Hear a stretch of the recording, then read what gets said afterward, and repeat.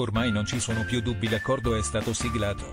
A introdurre i cantanti nella Kermesse di Sanremo 2019, con presentatore e direttore artistico Claudio Baglioni, sono Claudio Bisio e Virginia Raffaele che si presenteranno alla conferenza stampa di mercoledì 9 gennaio a meno di un mese dall'inizio del Festival della canzone italiana. Claudio Bisio e Virginia Raffaele avranno il compito di essere i co-conduttori del festival.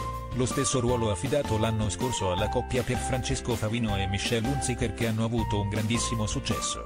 Per entrambi non è la prima volta all'Ariston, sono stati ospiti più volte soprattutto la Raffaele, ma entrambi si alterneranno sul palco a presentare i vari artisti in gara della Kermesse.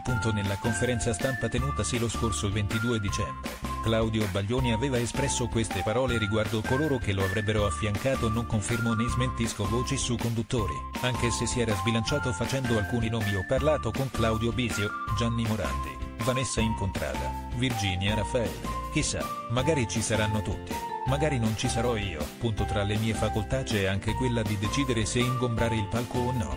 Ora il dado è tratto e i due sono pronti a salire sul palco. Punto non è stata la solo novità, ma ce ne sono altre le due serate che si sono tenute lo scorso dicembre con la conduzione di Rovazzi e Baudo che hanno visto una gara tra i giovani dove i vincitori sono stati Einar, ex di Amici e Mahmoud, egiziano, ex del talent di X Factor.